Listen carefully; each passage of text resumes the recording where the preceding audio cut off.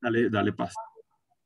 Bueno, bienvenidos a todos. Gracias por sumarse a, a, nuestro primer curso online del año para la sala. Es un gusto muy grande poder arrancar el año con Rafael Castillo Zapata, con quien la sala pues sostiene una muy fecunda relación. Eh, todos aquí hemos tenido el gusto de ver clases con el profesor Rafael, así que estamos seguros que será una experiencia para recordar. Em, el profe va a estar dando su clase, pues como siempre, en caso de que ustedes tengan alguna intervención, alguna pregunta, aquí está María, mi compañera también, que, que los, ayudará a encender su micrófono, pueden hacer comentarios por el chat y ella puede leer sus preguntas. Um, y pues bueno, como bien saben, todas las clases las vamos a estar grabando, ya está, se está grabando, y una vez que cierre, se las mandaremos en el mismo hilo de correos donde les enviamos el PDF eh, que contiene todo el contenido, todo el programa. Si el profe quiere mandar algún material de apoyo, también lo estaremos enviando por ese mismo hilo de correos, así que pues bueno, manténganse atentos a, a su bandeja de entrada. Eh, voy a admitir, profe, antes de que arranque a tres personas más. Claro para aprovechar que están aquí y pues bueno, ya podría arrancar su primera sesión de un surrealista llamado Walter Benjamin. Ok, bueno, bienvenidos a todas y a todos. Gracias por el apoyo, a la Sala Mendoza por abrir el espacio para que se hagan posible estos encuentros de, de diálogo, siempre son muy estimulantes para el que los propicia desde la arquitectura secreta del curso y para aquellos que luego participan de la aventura que el curso propone. Bueno, esperemos que sea una experiencia gratificante para todos. Eh, yo tengo un gran eh, placer en adentrarme en estos mundos eh, benjaminianos desde siempre. Mi tesis doctoral fue sobre Benjamin y bueno, es un repaso también de antiguos afectos teóricos y afectivos, o sentimentales, con la figura de ese gran eh, filósofo eh, y prosista judío que es Walter Benjamin, ¿verdad? Y en esta oportunidad vamos a abordar un aspecto crucial de, de su deriva como teórico de la modernidad, que es un poco el, el, el aspecto que, el, que, la, eh, que se ha privilegiado ah, en, en, digamos que en el espacio cultural contemporáneo de su figura.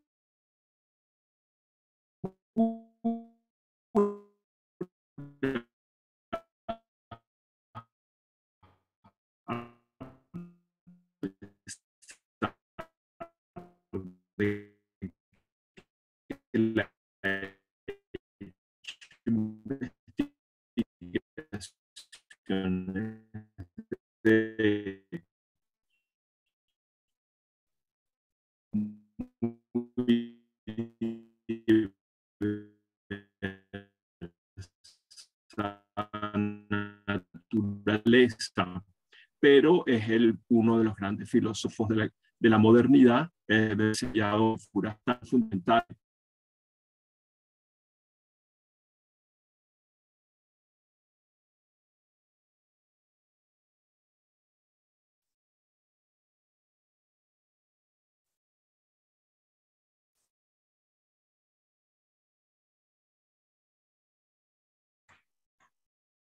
Listo, profe, ¿nos escucha?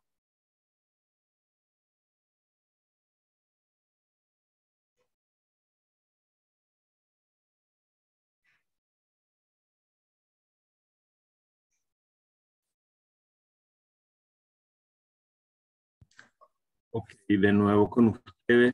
Sí, sí, ¿ustedes a mí? Lo escuchamos, correcto. ¿Ustedes a mí me oyen? sí. Sí me oyen. Ah, bueno, disculpen esto. No es problema mío, sino de, de la realidad hostil. bueno, vamos entonces a mostrar la presentación de una vez y no hago la introducción de palabras, sino ya con el esquema de la clase, ¿ok?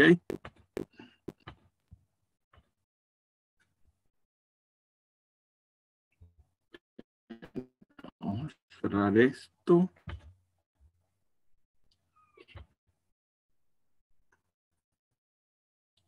Bueno, aquí tenemos el, encabezado del, del, curso por el cual ustedes se sintieron atraídos.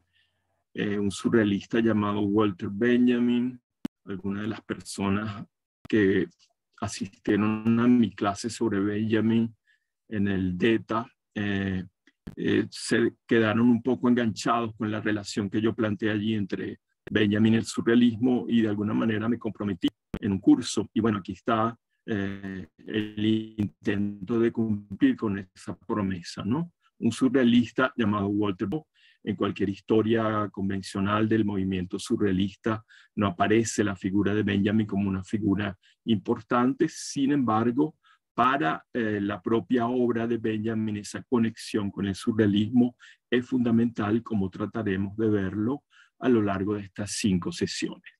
El libro fundamental del de, proyecto más vasto de Benjamin, que nunca fue concluido y que quedó inconcluso incompleto, eh, digamos, por la muerte prematura de, de Walter Benjamin en 1940, es un libro que, eh, bueno, es de una vastedad tal que no se terminará de leer nunca, ni de comprender la, complejidad de, las vertientes que abre sobre eh, una, una historia o una prehistoria de la modernidad, ¿verdad? Que eh, a partir de lo que está recogido en ese gran archivo, que es el libro de los pasajes, se pueden construir cientos y cientos de obras, ¿no?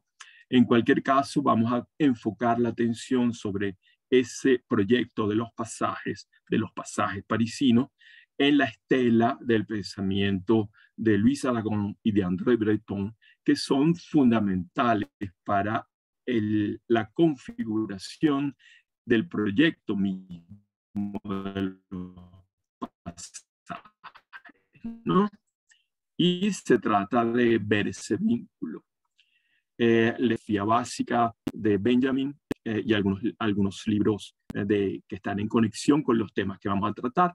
Bueno, fundamentalmente el libro, el libro capital que va a estar en el horizonte constante de, nuestra, de nuestras conversaciones es libro de los pasajes, el pasaje Berg. Eh, bueno, hay una edición española accesible, accesible entre comillas, eh, por las carencias que tenemos nosotros en las librerías caraqueñas, pero eh, la edición de Acal se consigue en otros lugares, en España seguramente y probablemente en algunas zonas de América Latina. Eh, en cualquier caso, si alguno encuentra una edición digital, lo dudo mucho porque es un libro de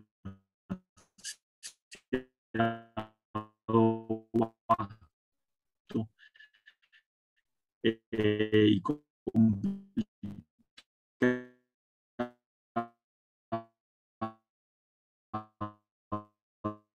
como para que hayan hecho un PDF de él. En cualquier caso, es un libro de referencia fundamental para entender la poética y la política y a la construcción del que él publicó en 1928 eh, y que tiene que ver también con la arquitectura peculiar del texto que nos anuncia lo que va a ser la fascinación de, de Benjamin por el pasaje parisino como un escenario emblemático de eh, lo que podríamos llamar la arqueología temprana de la modernidad. Junto a Calle de Dirección Única, un, un pequeño artículo del año 25 también, enigmático y oracular como muchos de los textos de Benjamin Orino Kitsch, que es el primer anuncio de su fascinación por el surrealismo, antes de leer el libro de, de Aragón, El campesino de París, que va a ser el detonador de todo el proyecto de los pasajes. ¿no? El pasaje ya lo veremos como esa zona peculiar de transición entre un mundo de la primera modernidad que, es, que va a ser destruido, superado por el progreso de la técnica, y lo que sería el futuro de, una sociedad basada en precisamente esas categorías de la, de la cultura capitalista, del avance de la tecnología y la transformación de los mercados a través de nuevos materiales de construcción, pero también de nuevas maneras de distribución, exhibición y consumo de la mercancía. El pasaje va a tener ese, ese elemento eh, que, que Aragón va a pensar que es un lugar donde nacen las nuevas mitologías de lo moderno. ¿ok? Por eso le interesa tanto a Benjamin que ya quería explorar a París como eh, el, la capital del siglo XIX, ¿no? como la, la ciudad donde se cocinan las vertientes fundamentales de lo que vivimos todavía como modernidad y contemporaneidad. Bueno, el otro texto fundamental que vamos a abordar es obviamente el que le dedica específicamente al surrealismo, eh, del año 29, la última instantánea de los intelectuales europeos, y otros textos que están vinculados al proyecto de los pasajes, como el ensayo París, capital del siglo XIX, y el París del Segundo Imperio en Baudelaire, que son extractos del libro de los pasajes. Ya veremos las razones por las cuales se construyen estos dos textos que están desmembrados, o sea, no están integrados entre sí, pero que pertenecen a la estela del libro de los pasajes, como, como, como productos del archivo del libro de los pasajes. Luego están eh, las correspondencias que son fundamentales para nosotros, para crear un contexto, para entender un poco eh, el lado secreto de la construcción del proyecto de los pasajes, la correspondencia entre Benjamin y Teodoro Adorno, ¿verdad? Entre 1928 y 40, la, entre Benjamin y Gershon Scholem, y la eh, correspondencia entre Benjamin y Gretel Adorno, la esposa de, Teodoro. Eh, bueno, esas son fuentes biográficas, pero también fuentes históricas, fuentes Em, eh, sí, circunstanciales para entender la dinámica de la discusión filosófica entre Benjamin y sus eh, contemporáneos, entre sus amigos, ¿verdad? Sobre todo con Gershon Scholem, que es un amigo de la infancia prácticamente y que han estudiado juntos y han pasado una vida juntos de amistad. Y bueno, hay una, una, fuente allí muy rica de, mm, de datos y de materias para entender el porqué de, de las apuestas benjaminianas, el porqué del estilo benjaminiano y muchas otras razones. La correspondencia con Adorno nos va a poner en relación con la conflictividad teórica entre ambos alrededor del proyecto de los pasajes. Y con Gretel Adorno es una correspondencia un poco más eh, afectiva, un poco más familiar, más íntima, aunque no dejan de salir aspectos teóricos, también nos muestra el Walter Benjamin, eh, bueno, hombre corriente, hombre con problemas familiares, eh, con una situación económica extrema, etcétera, etcétera. Luego tenemos los libros, digamos, más panorámicos o que tienen que ver con, con Benjamin, eh, el libro de Teodoro Adorno sobre Walter Benjamin, que recoge varios artículos de Adorno a lo largo de mucho tiempo, de los años 30 a los 50. Eh, están los dos libros fundamentales, en principio los dos libros a los que nos vamos a referir de eh, el surrealismo, el campesino sino de París, de Aragón y Natcha de André Breton. Pero están también una ola de sueños de Aragón, por supuesto los libros fundamentales de Charles Baudelaire, La Flor del Mar, podría faltar una referencia a el manifiesto surrealista de 1924.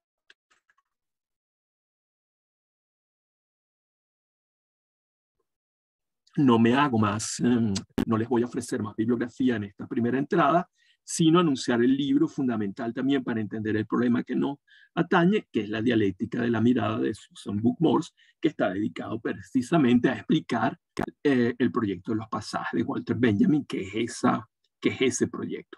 Aquí pongo un libro importante también, Franz Hesel, un gran amigo de Benjamin, compañero también de, eh, de vida en Berlín eh, y en París. Son dos, dos alemanes fascinados por la ciudad de París y parte del, del proyecto de los pasajes parisinos eh, de Benjamin tiene que ver con el estímulo de Franz Gesell.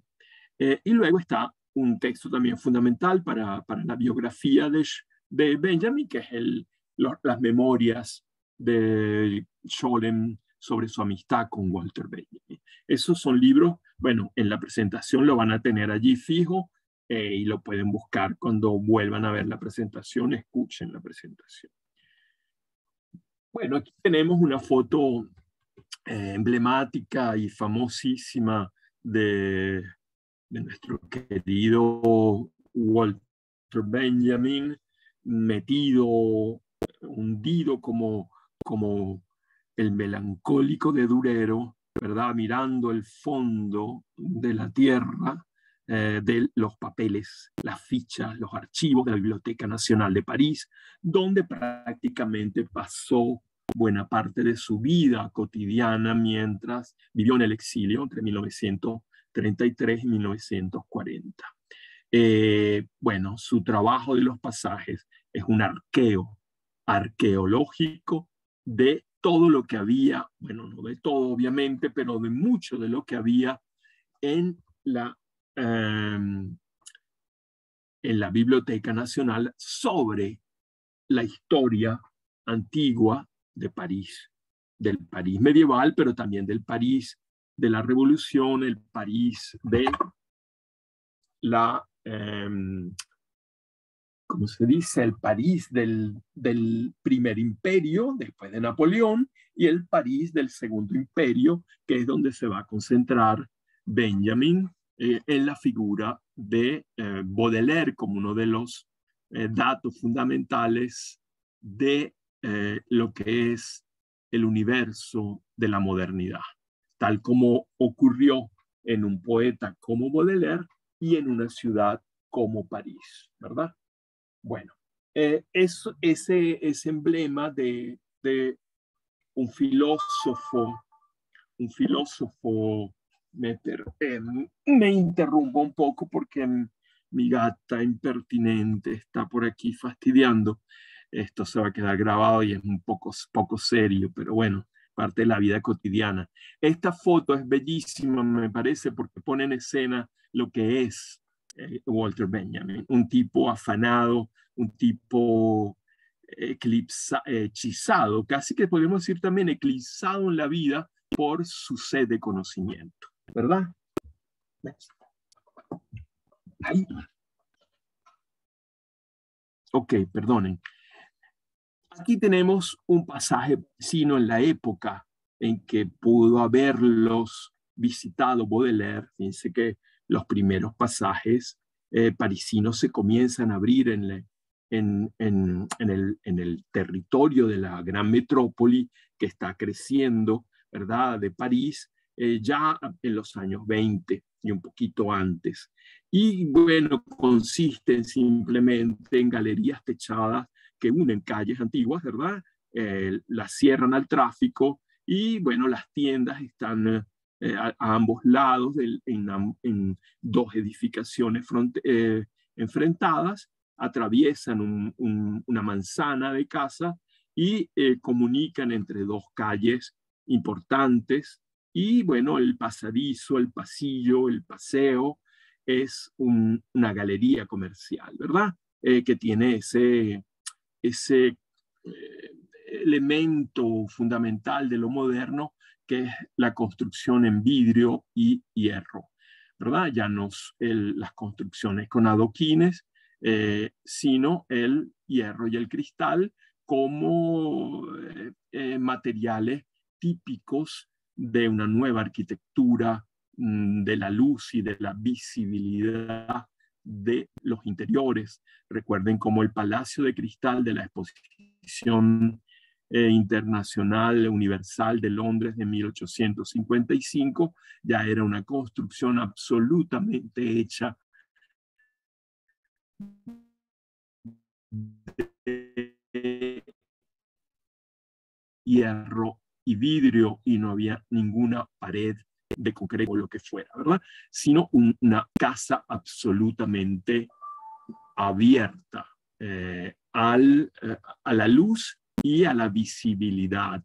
Bueno, en cualquier caso, el pasaje tuvo un gran auge a lo largo del siglo XIX y luego, digamos que en el último tercio del siglo XIX comenzaron a entrar en decadencia porque, bueno, la gran transformación urbana iniciada por el barón de Haussmann, el alcalde de París, precisamente en, el Segundo Imperio, a partir de los años 50, em, fue transformando la vieja París y arrasó con muchos de estos pasajes por el trazado de nuevos bulevares, espacios abiertos donde las grandes aceras, eh, las, vías asfaltadas eh, transformaron también el plano de la urbe y dejaron relegados estos pasajes que en su momento eran la expresión más avanzada del progreso moderno.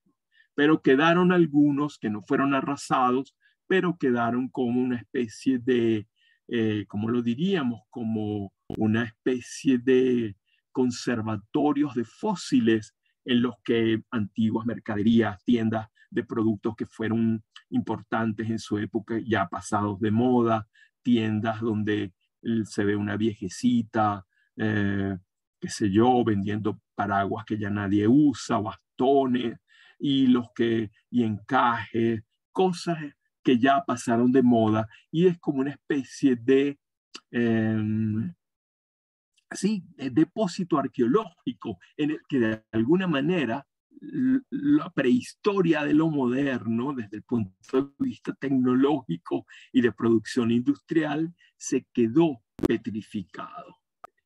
Y es precisamente esa, esa, esa posibilidad de asistir a una arqueología del origen de la modernidad, tal como la conocemos en estos espacios, es lo que dinamiza el, proyecto de los pasajes de eh, Benjamin. Es decir, leer la prehistoria de la modernidad en los datos que ofrecen estos suerte de sarcófagos o suerte de acuarios eh, clausurados en los que sobreviven especímenes extravagantes, raros, antiguos de la modernidad. Es uno de estos pasajes, el pasaje de la ópera, que va a ser arrasado por un nuevo trazado de, los bulevares haussmannianos. Eh, el que visita eh, Luis Aragón en el campesino de París, la historia del campesino de París es la travesía por este eh, pasaje de la ópera y de todo lo que él ve allí en el año 24, cuando están a punto de tumbar el, pasaje, ¿no? Y bueno, em, allí va a encontrar eso que él va a, y de ahí lo va a tomar Benjamin, la mitología de lo moderno está encofrada allí, está como si tuviéramos especímenes en frascos de formol para decir así eran los animales en esta época, o fósiles en una roca para decir así eran las plantas, los helechos, etcétera, de esa primera modernidad.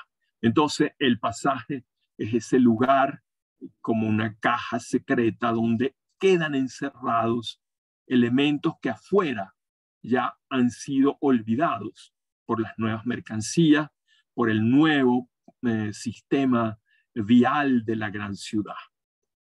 Y aquí están los dos grandes capitanes del movimiento surrealista, Luis Aragón y André Breton, ¿verdad? En esa foto de juventud, eh, todos fresquitos y con pelo, aunque Breton nunca perdió la melena, el señor Aragón sí, pero bueno, son dos figuras emblemáticas que nos van a estar persiguiendo a lo largo de nuestras conversaciones. El primer eh, escenario que hemos ofrecido abordar como una introducción al problema de cómo se construye el proyecto de los pasajes a partir de la conexión con el surrealismo es precisamente eh, los primeros esbozos del proyecto y una frase que dice Benjamin en una carta, primero en una carta a Scholem y luego lo repite en una carta a Adorno posterior, eh, la idea de que, el, de que el proyecto de los pasajes es un cuento de hadas dialéctico. Eh, en, esa, en esa denominación, a mi modo de ver, muy afortunada, es el subtítulo que le quería poner al proyecto inicial de los pasajes. Un cuento de hadas porque eh, digamos que lo feérico en alemán, la palabra feerie, remite al, cuento maravilloso, cuento de hadas, eh, tiene que ver con el ámbito que abre el surrealismo, es decir, toda la exploración del mundo de los sueños, del inconsciente, ¿verdad? De la mitología de lo cotidiano, y por otro lado la dialéctica que habla de la vinculación estrecha del proyecto con el materialismo histórico, con el marxismo. Es decir, aquí vamos a ver la confluencia eh, problemática, eh, eh, conflictiva, entre esa vertiente imaginaria, mágica, que tiene que ver con, con el mundo de lo irracional, de lo inconsciente, de lo onírico, y lo que tiene que ver con el proyecto crítico del marxismo, ¿verdad? Con una, una, la objetividad de la historia y de la dialéctica en el sentido marxista o marciano y luego en el sentido lucaxiano, que es el sentido eh, en el que lo aborda mm, eh, el señor Benjamin. Es decir, Benjamin no va a leerse el capital, se lee historia y conciencia de clase de eh. Esa es su fuente fundamental de ideario Marx. ¡Ay! Perdóneme, la gata quédate allí, discúlpenme esto, no sé, ustedes no pueden borrar esto, pero, pero nada, ella está empeñada en subirse al escritorio mientras yo hablo. Bueno, tengo que ver qué hago, o ponerme en otro, en otro lado la próxima vez. Bueno, un cuento de hadas dialéctico, lo que tiene que ver con lo imaginario, con lo mágico, con lo onírico y lo que tiene que ver con lo histórico, lo objetivo, lo dialéctico. Eh, la carta que Benjamin le escribe a Todor Adorno el 31 de mayo del año 35 en París, eh, un fragmento dice lo siguiente. Hablando del proyecto de los pasajes, le dice, en su comienzo estuvo Aragón, el paisano de París, del que por la noche en la cama no podía leer más de dos o tres páginas porque mi corazón latía tan fuertemente que tenía que soltar el libro de las manos. Vaya advertencia, qué anuncio de los años y años que habrían de interponerse entre esa lectura y yo mismo. Y sin embargo, los primeros apuntes de los pasajes proceden de esa época. Vinieron luego los años de Berlín en los que lo mejor de mi amistad con Hessel se nutrió de las muchas conversaciones que suscitó el proyecto de los pasajes. En ese tiempo surgió el subtítulo Hoy ya abandonado, un cuento de hadas dialéctico. Es decir, aquí hay elementos muy importantes para el futuro de nuestros encuentros. Es decir, la marca que significó leer El campesino de París, publicado en el año 26, esto que él está abocando ocurre el año 27 en una de sus muchas estadías en París antes de emigrar a París, ¿verdad? Después del ascenso del nazismo en Alemania, se exilia en, en Francia, obviamente, a donde más iba a ir, y se aloja el resto de su vida en París. Eh, y bueno, él dice qué advertencia la que esa lectura que lo emociona tanto al punto de que tenía que soltar el libro de las manos porque no podía leer más de unas cuantas páginas. Eso ya habla de una conmoción espiritual intensísima, eh, que anunció los años y años que habrían de interponerse entre esa lectura y yo mismo, es del año 27, que, ya son los primeros atisbos del proyecto, y cuando se pone a trabajar en serio en él, eh, bueno, a partir del año 32 en adelante y hasta su muerte dejándolo inconcluso, ¿verdad? Sin embargo, los primeros apuntes proceden de esa época, del año 27, también de los encuentros, después él vuelve a, a Berlín, obviamente, está de pasada por París el año 27, y bueno, en, en, Berlín reanuda su contacto con Hessel, que es también un gran visitante, ha sido visitante de París, y de las conversaciones entre de esos dos flaneurs, porque Hessel es el, gran flaneur de Berlín, ¿verdad? Así como eh, Baudelaire creó la figura del flaneur como una figura fundamental de la poética de la modernidad y de la ciudad moderna en particular, eh, bueno, Hessel ya lo era o lo fue en Berlín. Y eh, de alguna manera Benjamin se contagia también de ese placer por el callejeo. El la flanería no es más que el callejear en una ciudad, ¿verdad? Y bueno, el proyecto de los pasajes tiene mucho de callejeo, porque el libro de Aragón, El campesino de París, es un callejeo en la calle cubierta del, del, eh, pasaje de la ópera y todo lo que él ve allí. Fíjense que en el fondo de todo esto está siempre Baudelaire, el Baudelaire de Splin de París, de pequeños poemas en prosa, el, hablante, eh, el, hablante fundamental de los poemas en prosa de ese libro del año 62, que comienza a armarse en el año 62 con una primera entrega en, um, en la prensa, en la, en la prensa, en los periódicos de la época, eh, es un anticipo de ese recorrer la ciudad que tiene que ver con, bueno, la, la vinculación estrecha entre el intelectual moderno y el escenario urbano, el escenario de la ciudad, la dinámica del mundo moderno que tiene su emblema, en, eh, bueno, manifestación emblemática en el espacio urbano. ¿Verdad? Bueno, entonces yo pienso Aquí dice él al final que abandona ese título. Y ya, eh, eh, ya vamos a tratar de entender por qué lo abandono, lo abandona. A mí me parece una lástima que lo haya abandonado porque eh, me parece que era muy justo y legítimo ese subtítulo para la naturaleza de su proyecto. Pero ya veremos que frente a Adorno él tiene que, bueno, negar ese elemento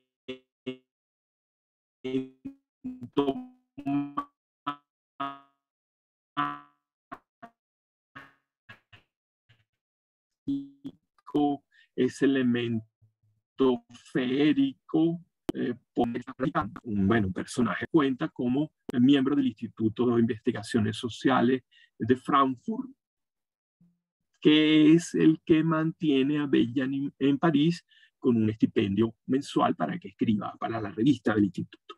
Se tiene que eh, ponerse de lo que le piden sus empleadores. Este fragmento, tomado de una carta de Benjamin Adorno, fechada en 1935, pone en evidencia el vínculo original del proyecto del libro de los pasajes con el surrealismo. La lectura del libro de Aragón hacia 1927 actúa como detonador de una conmoción espiritual intensa que conducirá a un giro crucial del pensamiento de Benjamin tras la publicación de su libro sobre el Trauerspiel alemán, editado en 1925. El Trauerspiel alemán es la investigación, eh, bueno, el Trauerspiel es una forma de teatro del barroco alemán del siglo XVII, el drama de duelo, un tipo de, de, de cosa que se acerca muy, un, poco a, a, cierto teatro barroco español como el de Calderón, eh, y que fueron un, unas formas dramáticas que luego del siglo XVII nunca más se representaron.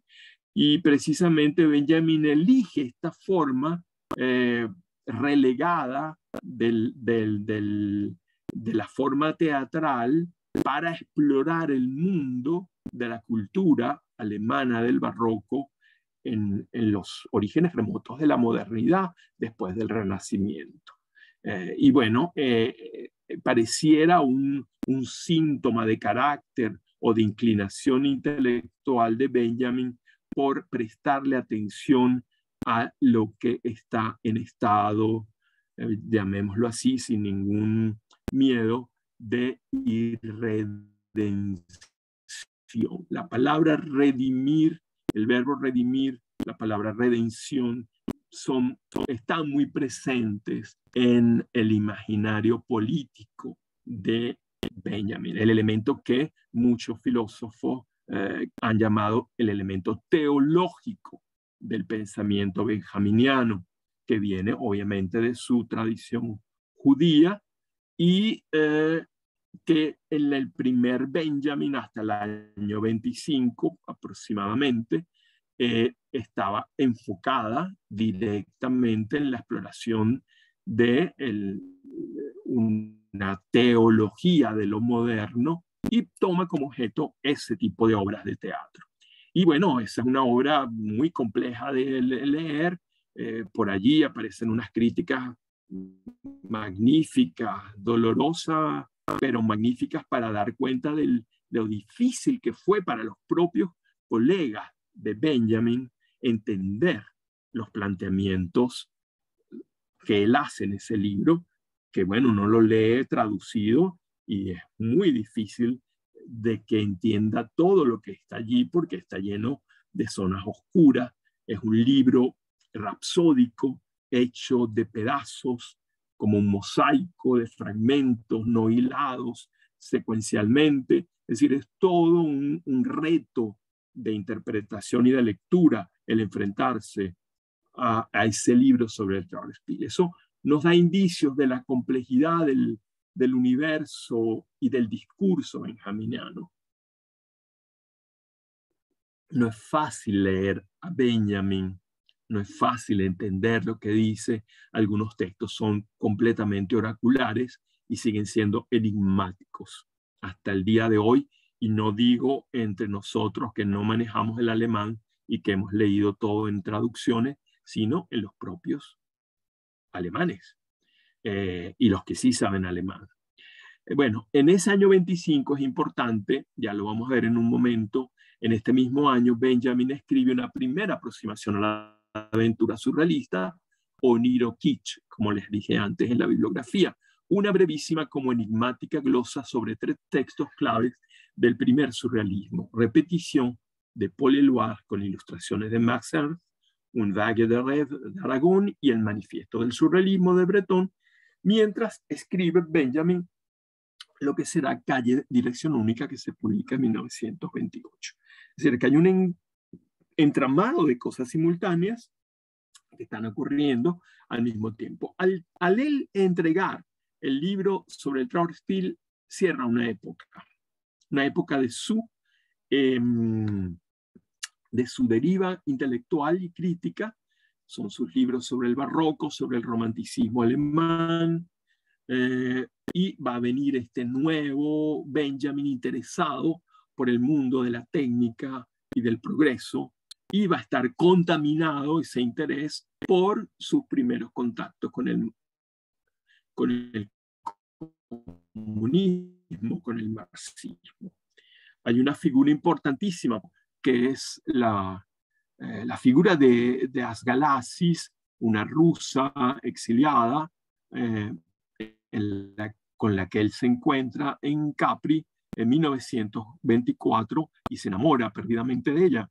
Y esta mujer, bueno, es el primer contacto, eh, el detonador importante de ese giro hacia el, materialismo histórico, el paso de una visión mística, teológica de la política hacia una visión materialista de la política, digámoslo así, en, en, una expresión muy vasta y poco refinada, pero más o menos para darnos cuenta que hay un giro alrededor del año 25 con respecto a Benjamin. Y Ashalasis va a cumplir allí un papel fundamental. Y fíjense cómo el vaso comunicante que, que involucra a Benjamin con el comunismo es precisamente una mujer, por un lado, y la fascinación erótica por esta mujer. Es decir, que el comunismo entra no por el lado objetivo de la teoría, sino por el lado afectivo, sentimental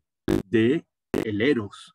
Y aquí tenemos, bueno, el elemento también tan fundamental para el imaginario eh, surrealista de la mujer y del erotismo como una de las formas de la libertad, ¿verdad? Como una forma, una forma de ese anarquismo libertario que está en el fondo del surrealismo y que es uno de los elementos que captura la atención de Benjamin. Entonces tenemos aquí ya algunos hilos que pueden ir a ayudarnos a tejer un pequeño mapa de lo que es esa relación de Benjamin con el surrealismo. Lo veremos, espero, eh, progresivamente de una manera más eh, consistente, pero aquí ya tenemos dos elementos fundamentales para tenerlos en mente. La vinculación con un aspecto mágico, teológico, eh, místico, metafísico, pongámosle todas esas adjetivos, y un lado objetivo, histórico, materialista, de análisis, eh, eh, bueno, de las fuerzas históricas, de la lucha de clase, bueno, del carácter fetichista de la mercancía, todos esos elementos que vienen del discurso marcina, marciano o marxista. Ahí tenemos dos elementos. El surrealismo también va a estar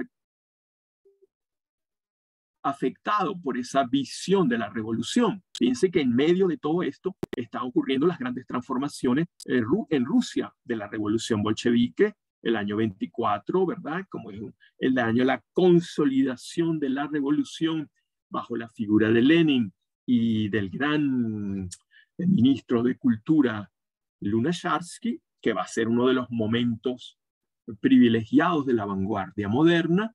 Eh, bueno, está coincidiendo con esta, esta, esta digamos, este remolino de, de corrientes que está envolviendo a este alemán que vivió más bien encerrado en, en un mundo de, de, la alta burguesía berlinesa, casado muy temprano, con un hijo pequeño, que lo que aspiraba era a lograr una cátedra en la Universidad de Frankfurt y de repente el amor de esta mujer, una tipa, una revolucionaria, eh, bueno, digamos, em, errante por Europa, y la conoce en Capri, una mujer bastante atractiva, y bueno, que además estaba casada, y el Benjamin también, hay un gran rollo ahí que no vamos a mm, meternos, pero eh, obviamente es la figura femenina otro detonador del marxismo, para que vean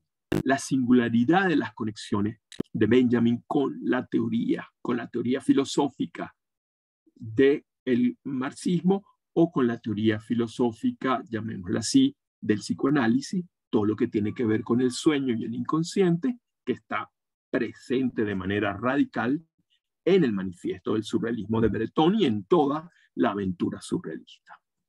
Bueno, esta fascinación por el surrealismo tiene que ver con el descubrimiento de una serie de coincidencias y afinidades entre el filósofo y los poetas surrealistas, especialmente Aragón y Breton, a propósito del interés mutuo por el poder revolucionario del soñar y de los sueños en el ámbito de lo que Margaret Cohen ha llamado marxismo gótico. Eh, bueno, eh, habría que entrarle al libro de, de, Margaret Cohen, que es muy importante, no lo puse en la bibliografía, eh, Iluminación Profana, está en inglés, no sé si ha sido traducido. En todo caso, esa figura de un marxismo contaminado de elementos mágicos, fantásticos, del romanticismo gótico alemán, que también tiene que ver con el romanticismo social francés, con, por ejemplo, eh, las utopías fourieristas, ¿verdad? El, falansterio de Fourier o la utopía san-simoniana, es decir, un tipo de marxismo que está contaminado de romanticismo, de fascinación eh, mágica, esotérica, eh, etc. Es un marxismo muy particular. El proyecto de los pasajes o Passagenberg surge pues de una doble conmoción la del surrealismo con su vertiente materialista, particularmente sensible a los aspectos inconscientes, misteriosos o mágicos de la experiencia, y la de Asjalasis, como mediadora de un pensamiento materialista revolucionario políticamente militante. El proyecto se moverá pues entre estas dos tensiones conflictivas. Por eso Benjamin puede considerarlo en principio como un cuento de hadas dialéctico. Se trata pues, de una lectura materialista de la modernidad basada en la contemplación de los pasajes como escenarios fantasmagóricos de su protohistoria, haciendo de París el punto focal de la investigación en tanto que capital del siglo XIX. La defensa, digamos, argumental, objetiva de por qué iniciar un proyecto como el proyecto de los pasajes frente al Instituto de Investigaciones Sociales de Frankfurt que dirigen Adorno y Horkheimer en el exilio, eh, primero en Frankfurt obviamente, pero cuando asciende el nazismo se llevan el, el, instituto eh, a Estados Unidos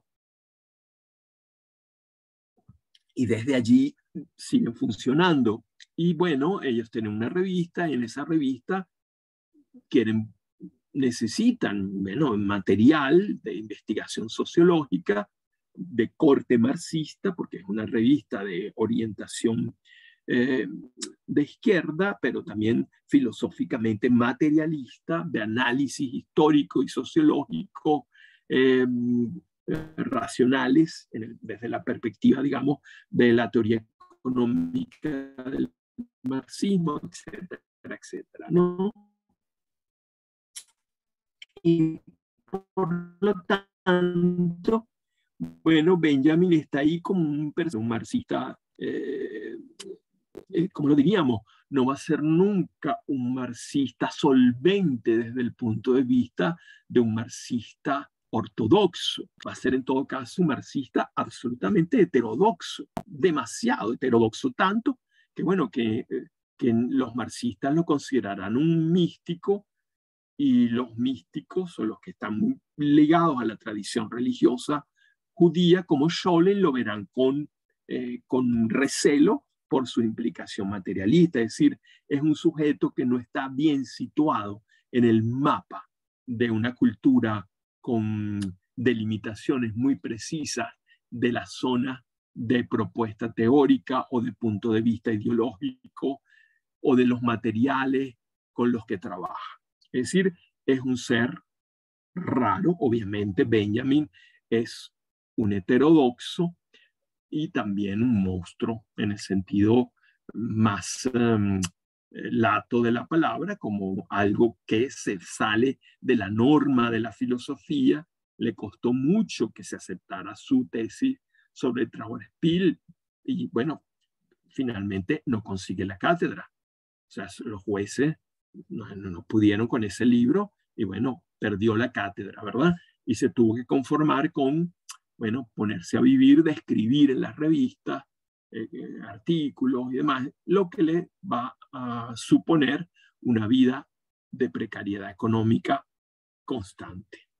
Bueno, él va a vivir en París de lo que le pasa al Instituto de Investigaciones Sociales y a cambio él tiene que desarrollar su proyecto sobre la protohistoria o prehistoria de la modernidad, teniendo como punto focal eh, París, considerando la capital del siglo XIX y el siglo XIX como ese, ese trayecto temporal en el que se consolidan las fuerzas de la sociedad burguesa y del, y del capitalismo con todo su elemento característicos en el plano material. En el, eh, y bueno, ahí vamos a tener a ese hombre forcejeando con sus propias pulsiones eh, mágicas, esotéricas, em, eh, teológicas y sus pulsiones materialistas, históricas, que uno podría decir que están todas anudadas o parcialmente anudadas en el concepto de redención, eh, que es un concepto que él va a trabajar de manera explícita en su último trabajo, eh, también incompleto, las famosas tesis sobre la historia, eh, que quedan inconclusas por su muerte y que en los cuales quizá en algún momento busquemos alguna de las tesis, fundamentalmente la segunda tesis, eh, para mostrar esa preocupación constante de, de Benjamin por aquello que la historia ha quedado relegado, ha quedado silenciado y clama por una reivindicación histórica.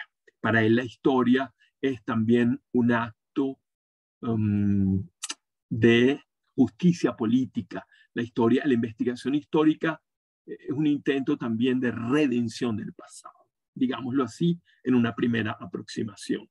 ¿Verdad? Bueno, en cualquier caso, eso está flotando alrededor del proyecto de los pasajes. Él tiene que mostrar que está trabajando para que le sigan pagando. Si por él fuera, no escribiría nada, sino seguiría archivando materiales, como no puede ocurrir a muchos de nosotros, que le damos larga a, la conclusión, porque como él dice en un pasaje muy bonito de dirección única, la fascinación del intelectual es precisamente la investigación y no la conclusión de lo que investiga. ¿verdad? En todo caso, el sobrevivir en París tiene que producir, ¿verdad? Bueno, eso es su famoso ensayo París, capital del siglo XIX, es un exposé que resume algunas de las líneas fundamentales del proyecto de los pasajes, que tiene que escribir bajo presión para mostrar algo concreto al Instituto de Investigaciones Sociales. Tiene que mostrar que sí está trabajando. Pero no es porque él quiso escribir ese texto, es un texto, como lo veremos en su momento, también muy, em, eh, ¿cómo lo llamaríamos? En situación de esbozo. Son como pinceladas, como pequeñas viñetas sobre lo que podría ser un libro que se llamara París, capital del siglo XIX.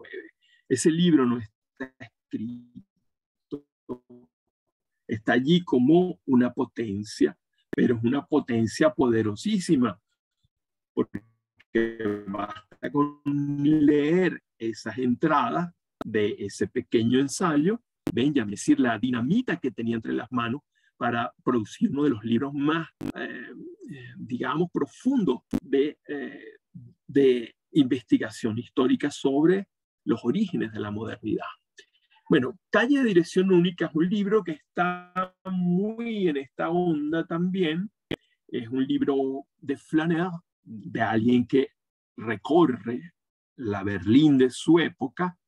Eh, hay un libro muy bello de Benjamin que se llama em, Infancia en Berlín, hacia 1900, hacia 1900 eh, y que, bueno, que es una memoria también de su fascinación por su ciudad natal. Eh, es un hombre de ciudad, Benjamin, hombre de afectos, y bueno, Calle Dirección Única es una suerte de homenaje a Berlín, pero también es un homenaje frontal a Ashalasis. Está escrito, comienza a escribir este libro el año 25, cuando él conoce a esta ah, letona eh, rusa en el año 24. Este libro supone una suerte de anticipo de muchos de los rasgos formales de composición y de muchas de las marcas conceptuales que señalan la confluencia catal, cuento de hadas, y de lo dialéctico del materialismo en su argumentación.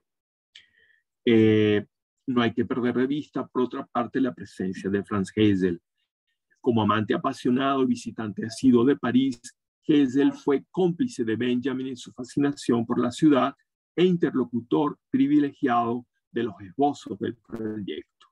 Nos interesa finalmente, en una primera aproximación, dilucidar las razones que llevan a Benjamin a abandonar ese tan sugestivo como justo subtítulo, considerando el que las conversaciones con los filósofos marxistas del Instituto de Investigaciones Sociales de Frankfurt, Theodor Adorno y Max Horkheimer, pudieron ejercer sobre la posición inicial de Benjamin. En esta conversación estuvo presente Asgalasis, a quien Benjamin le había dedicado Calle de Dirección Única en 1928. Es decir, que los protagonistas de, esto, de esta escena van, van interactuando en una suerte de remolino, están implicados en, en, varias escenas eh, de los principales actos del drama. Y bueno, ya podíamos entrar un momento en Campesino de París. Fíjense que esta primera clase es una clase de esbozos, eh, de aproximaciones, de tentaciones, quizás de bocados para abrir el apetito.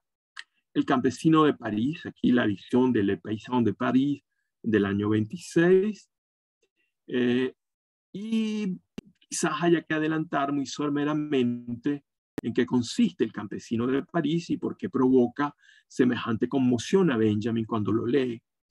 La experiencia del personaje de Aragón, este campesino, este paysan que recorre el pasaje, eh, asombrado, el viejo pasaje de la ópera que está a punto de ser demolido, equivale en cierta medida a la experiencia del propio Benjamin cuando, para dar cuenta del barroco alemán del siglo XVII, atraviesa los pasajes del olvidado Trauerspiel que ya nadie representa. Es decir, también el pasaje de la ópera, en el momento en que Aragón lo recorre y escribe El campesino de París, está en decadencia, es, está a punto de ser demolido.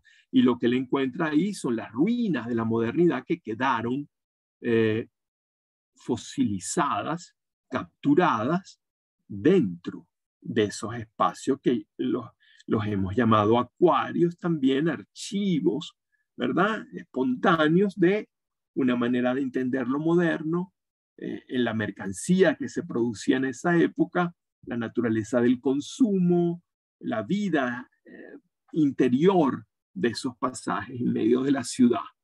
Eh, y bueno, Benjamin también atravesó los pasajes del Trauerspiel, que era un tipo de obra teatral anacrónica que ya nadie representaba en ningún teatro, y atravesando ese, esas galerías barrocas eh, eh, sepultadas en el tiempo, intenta también revelar una teoría de lo moderno a partir de las tensiones del siglo XVII alemán. En ambos casos, ¿verdad? En esa travesía de Aragón el año veintitanto del pasaje de la ópera, los años 20, principios de los 20 parisinos, y en la travesía de, de, Benjamin por el Travelspiel, en ambos casos, en, en ambas flanerías, en ambos paseos, en ambos recorridos, se producen alegorías o alegorizaciones de la historia. En ellas juega un papel importante, obviamente, la imagen de la ruina como alegoría del tiempo que pasa, como alegoría barroca de la historia y, mm, bueno, como alegoría también de la modernidad.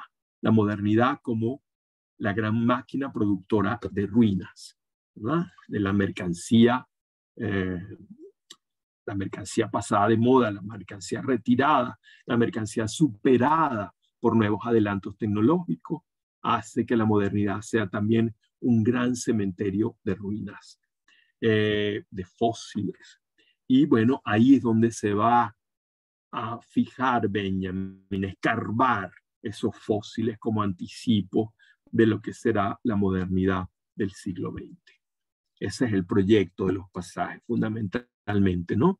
Y tiene, por supuesto, el pasaje como depósito, eh, como almacén de todas esas ruinas o residuos o escombros o supervivencias fantasmagóricas de una modernidad pasada de moda. Bueno, les pongo aquí un pequeño fragmento de, em, eh, del paisano de París. Les pido un, un instante para buscar agua, tengo la garganta muy seca, y continúo la clase, ¿ok?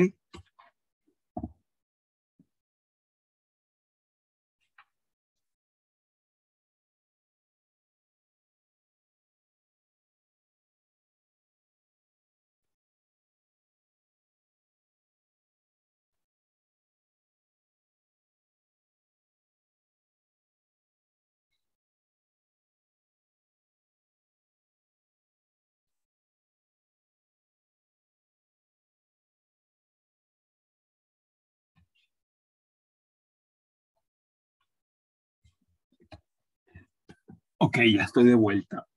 Este es un pequeño fragmento de, del, texto de Aragón, para que vean un poco eh, la naturaleza de... Este texto tampoco es meridianamente claro, es un texto oscuro. Eh, eh, Aragón escribe más claro que Benjamin, pero también está lleno de, supuestos, de imágenes cuya trasfondo bueno, solamente conoce el propio, el propio Aragón o aquel que conoce mucho París, ¿verdad? Y, bueno, nosotros no lo conocemos tanto como para decodificar muchas de las referencias del texto, pero en cualquier caso, eh, aquí aparecen cosas importantes para nuestro, nuestro futuro. El Boulevard Haussmann, ¿verdad? Ya decimos, uno de los grandes boulevares que el barón de Haussmann va a construir en, eh, en París a partir de los años 50, como ya dije, ¿verdad? Eh, y a lo largo de 20 años por lo menos o más, eh, porque él además traza las perspectivas que una vez que él desaparezca, se sigue el desarrollo de esas, de esas grandes vías, ¿no? bueno, el Boulevard Haussmann va a atravesar una zona en la que se encuentra precisamente el viejo pasaje de la ópera. Eh, y aquí la, imagen es hermosa de, de, de, Aragón, es decir, el Boulevard Haussmann está avanzando como una especie de roedor, la figura de este cosa que se va carcomiendo progresivamente mientras avanzan las obras, eh, ya va por la Rue Lafitte eh, y va comiéndose el antiguo concreto, el antiguo, las antiguas edificaciones, tumbando edificios, reformando barrios, abriendo esplanadas con grandes aceras, bulevares, etcétera, etcétera. El Boulevard Haussmann en sí mismo está avanzando como una especie de serpiente, un roedor que devora construcciones antiguas, bueno, la, gran, la llamada picota del progreso, y va devorando manzanas de casas. Algunos pasos más de este gran roedor y devorada las manzanas de casa que la separa de la Rue Le Pelletier, es decir, de la Rue Lafitte de la Rue Le Pelletier, vendrá a destripar, dice, esa, ese gran roedor, y el verbo destripar es súper eh, apropiado, ¿verdad? Eh, da la, la, sensación de, de, de la destrucción que significa el paso de esa picota del progreso, de hacer de París una ciudad metropolitana expedita en su circulación del tráfico eh, vehicular, pero también peatonal, y convertir a París en una ciudad en que la retícula es eh, totalmente em, racional con respecto a la antigua París medieval de los laberintos y los barrios con callecitas estrechas, etcétera, etcétera. Entonces, esta es la gran París que viene a consolidarse durante eh, la vigencia del poder de Haussmann durante el Segundo Imperio y después. Bueno, esa cosa va a destripar el pasaje de la ópera, ¿verdad? Porque el pasaje de la ópera está puesto entre dos, entre dos manzanas de casa, por donde va a pasar precisamente el Boulevard Haussmann, que viene comiéndose manzanas de casa de la Rue Lafitte a la Rue Pelletier. Y bueno, se le va a llevar por delante la ópera. Él está atravesando ese pasaje que está a punto de ser derrumbado y por lo tanto es como un paseo de alguien que anuncian, por ejemplo, que una gran explosión de, de un volcán que no va a poder nadie detener y va a sepultar una ciudad, la visita antes de que eso ocurra, o cuando se hacen esas grandes presas, que se hacen todas unas empresas de rescate de los, de los animales y de las cosas que van a quedar atrapadas y de las cosas que van a quedar atrapadas cuando se llene ese vacío con el agua en la presa. Lo mismo pasaría con, con Aragón. Aragón quiere recuperar como un arqueólogo antes de que ese pasaje sea echado al suelo, lo, las últimas cosas que quedan allí encerradas, que le pueden decir esas, esas cosas. ¿Verdad? Eh, los objetos que quedaron encapsulados detrás de esas viejas vitrinas polvorientas que atienden personas, bueno, ya viejos ancianos, viejos propietarios, a los que se llevó por delante el progreso de los grandes almacenes que, que, dejaron atrás las pequeñas tiendas eh, individuales, ¿verdad? Para hacer los grandes magazines, eh, que bueno, que como ocurre o ha ocurrido recientemente también con nosotros, que las pequeñas tiendas han sido uh, sacrificadas, ¿verdad? Ay, ay, ay.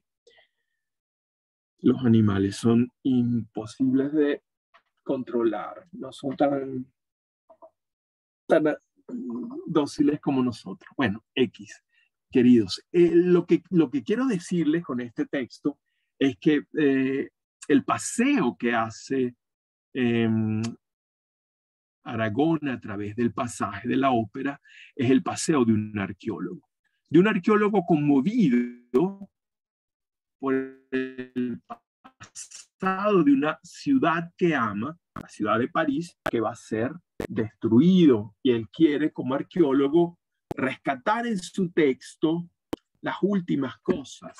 Ya. Perdón, las últimas residuos, supervivencias de esa París que se va. Esto tiene un correlato hermosísimo también con Baudelaire, porque en, en Splin de París, en los pequeños poemas en prosa, eh, Baudelaire también se lamenta porque ya en los años 60, cuando él escribe estos poemas, ya el barón de Haussmann está echando al suelo medio París para transformarlo en una gran metrópoli. Y él sufre este, este eh, malestar, el poeta que ama París, de la destrucción del viejo París y el levantamiento de uno nuevo. Y bueno, muchos de sus poemas son testimonios, muchos de sus poemas son testimonios de, em, de, de esa pesadumbre, de la tristeza de lo que se va y de la incertidumbre de lo que viene.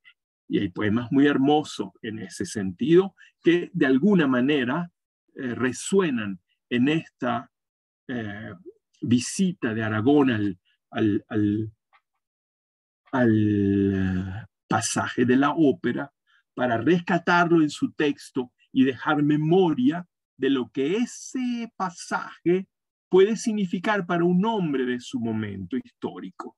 Es decir, ¿qué, ¿qué le puede quedar a un hombre del siglo XX de lo que ahí está encerrado, de lo que quedó allí encapsulado, de esos fósiles que están en el fondo de la propia modernidad que le está viviendo? Es, una investigación sobre el pasado. Y el pasado, como, como le vamos a ver en algún momento cuando evoquemos la tesis segunda sobre la historia de Benjamin, yo les recomiendo que se la lean si quieren ahora mismo cuando salgan de la clase o en estos tiempos, eh, para, antes de la próxima clase, para que vean el elemento teológico, por una parte, que no deja de desaparecer nunca, eh, que, no desaparece nunca, mejor dicho, del imaginario de Benjamin, a pesar de su paso por, por, por la ráfaga materialista eh, de los años 30, es para que vean el, el, amor de Benjamin por el pasado, como hay allí algo que hay que redimir, que no se ha reivindicado históricamente, que hay una cantidad de cosas con los que tenemos una deuda histórica. Y un poco Aragón está también empezando, tenemos una deuda con el pasado de París que vamos a destruir.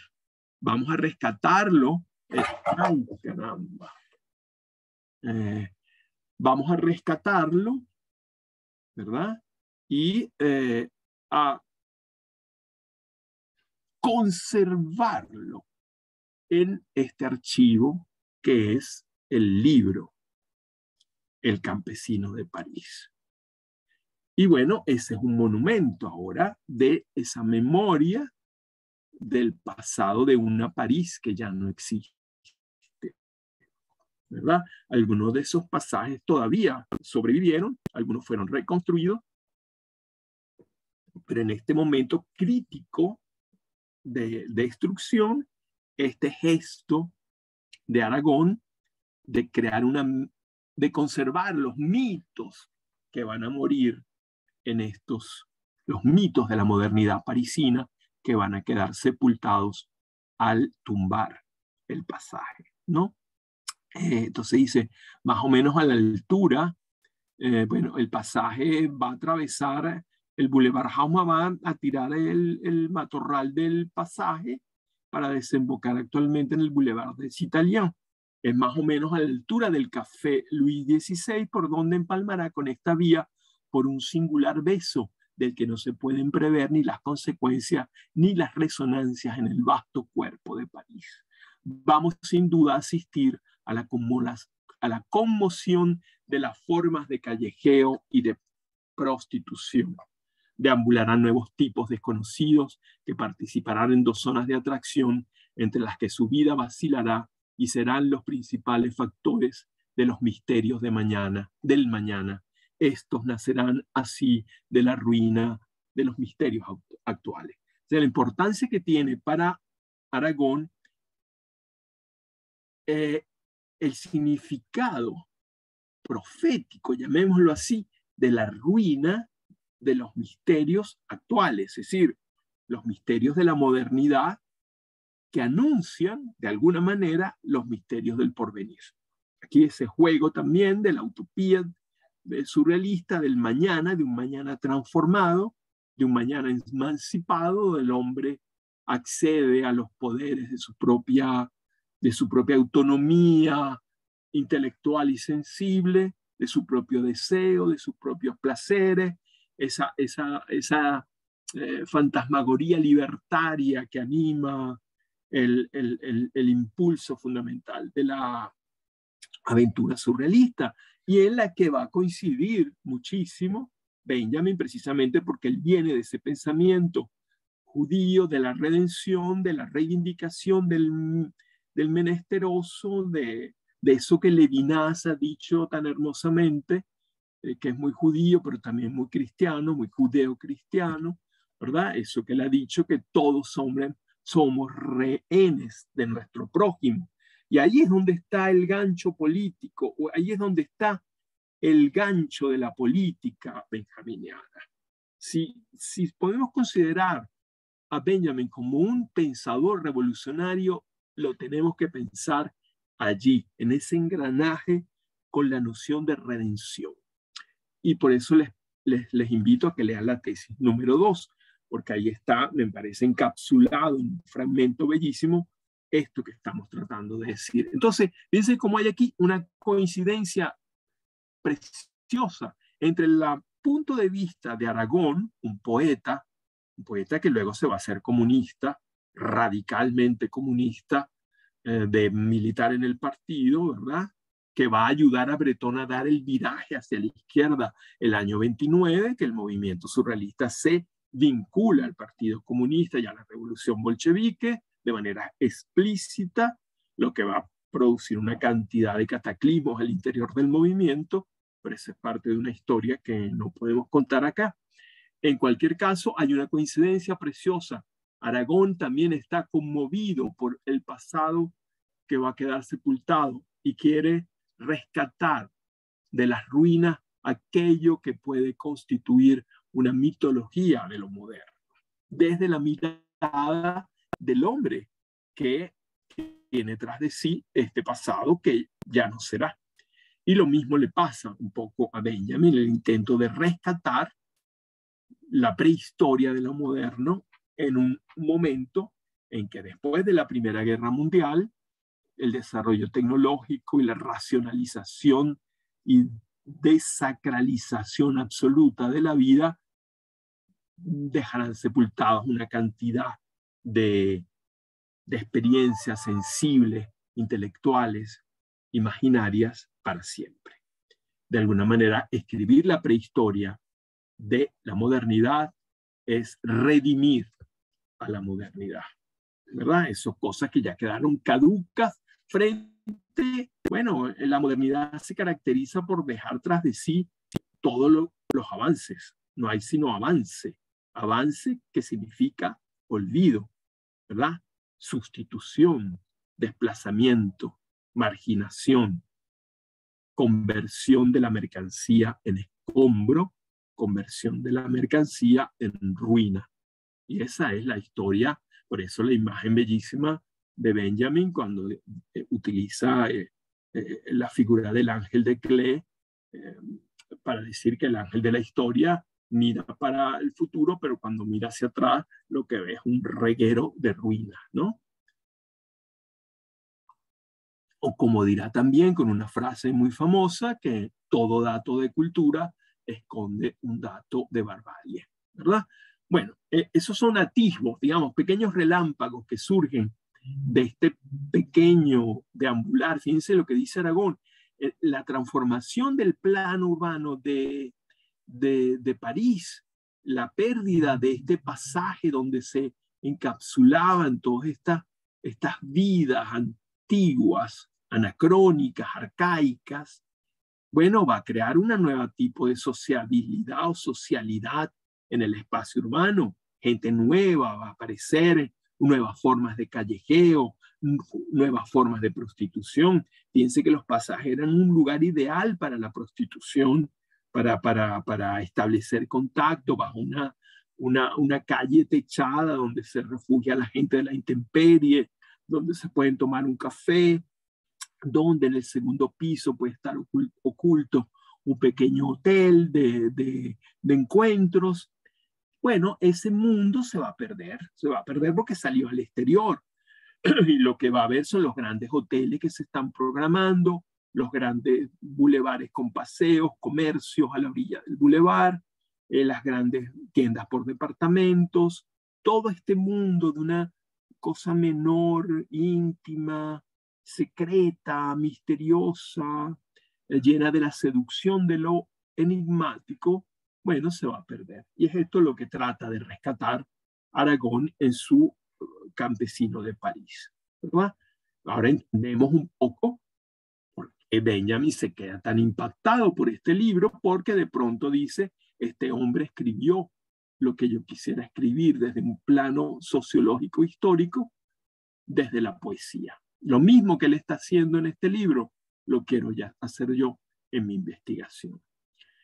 Y bueno, aquí hay unos fragmentos que voy a ofrecer de los primeros esbozos del libro de Benjamin que este esbozo, por ejemplo, Pasaje de París 2, es el que él eh, comparte, bueno, o habla de él con, con Schollen en 1928 y le dice, es la primera vez que lo dice, que este proyecto de los pasajes parisinos es un cuento de hadas dialéctico.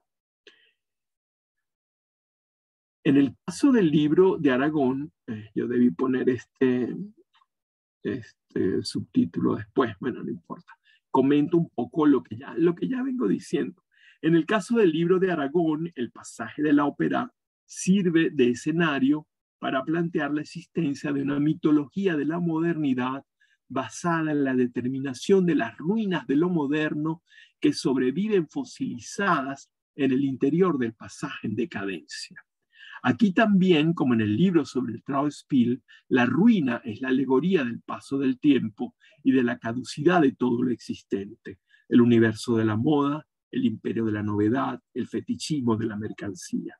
Pero a diferencia del libro de 1925, es decir, el del Trauspiel, en el proyecto que se configura alrededor de 1927, el libro de los pasajes, se trata de encontrar en las ruinas de la primera modernidad las potencias revolucionarias de una renovación total de la vida, aspiración en la que coinciden Benjamin y los surrealistas. Bueno, aquí está eh, el, ¿cómo se dice? uno de los grandes pasajes en la época en que estaban en su esplendor, en finales del 19, ¿verdad? Eh, este si no me equivoco, este es el pasaje de los panoramas. Y bueno, fíjense la amplitud, la, longitud más bien del pasaje. Una calle techada entre dos manzanas de edificios, llenos de tiendas, llenos de paseantes, de compradores, del consumo, la elegancia, el lujo y bueno, la diversidad de ofertas de, objetos, librería, peletería, sombrerería, eh, bueno, cualquier cosa, café y también prostíbulos. En el segundo piso se anunciaban masajistas eh, y otro tipo de panoramas, dioramas, se llamaban de los panoramas también, porque era la época también del éxito del panorama, de esa, ese mm, dispositivo eh, que antecede un poco al, cine, que es como ver a través de un visor un espectáculo en miniatura que tiene que ver, por ejemplo, las ruinas de Pompeya o un acontecimiento histórico, la batalla de Waterloo, vista eh,